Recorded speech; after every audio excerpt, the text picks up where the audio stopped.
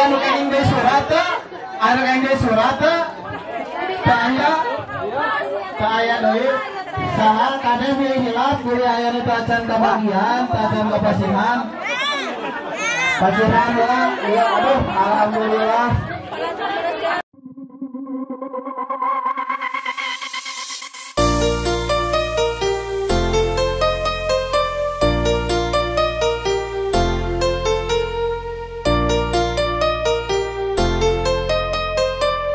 Suratamba.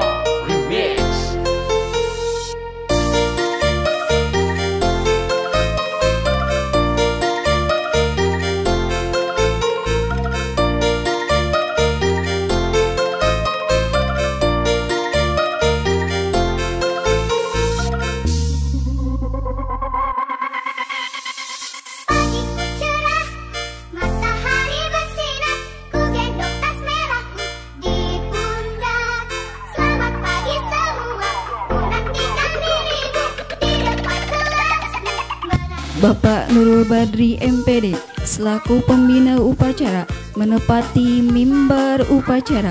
Pasukan disiapkan.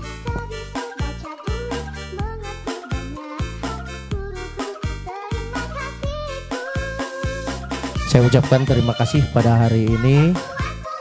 Ya, kalian semua bisa mengikuti upacara bendera. Alhamdulillah petugasnya semua dari Bapak Ibu guru dan saya apresiasi yang sebesar-besarnya buat Bapak Ibu guru di hari ulang tahun ini menjadi petugas upacara. Ya, terkait nanti ada kesalahan teknis dan lainnya itu mungkin karena tidak terbiasa dan kita mencoba semua Bapak Ibu guru kita mencoba untuk menjadi petugas upacara. Begitupun kalian ya. Para siswa jangan takut salah. Biarlah nanti ada kesalahan-kesalahan sedikit kita perbaiki dan kita pelajari bagaimana yang terbaik. Ya, sehingga kita bisa gitu. ya. Sehingga kita bisa dan terbiasa. Maka pada kesempatan pagi ini izinkan saya menyampaikan amanat yang disampaikan oleh Menteri Pendidikan Dasar dan Menengah di Hari Guru Nasional ya di tahun 2024. Saudara-saudara, Bapak Ibu guru yang berbahagia, hari ini hari ulang tahun guru mengambil tema guru bermutu Indonesia ma- semakin maju ya.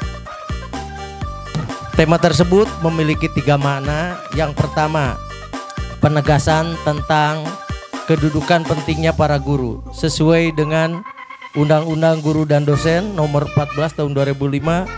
Guru adalah tenaga pendidik yang profesional yang bertugas mengajar, mendidik, membimbing dan memberikan hasil penilaian kepada murid. Yang kedua, guru tidak hanya berperan sebagai agen pembelajaran, tapi juga sebagai agen peradaban. Para guru berperan mendidik para murid sehingga memiliki kecerdasan, keterampilan, dan karakter yang mulia.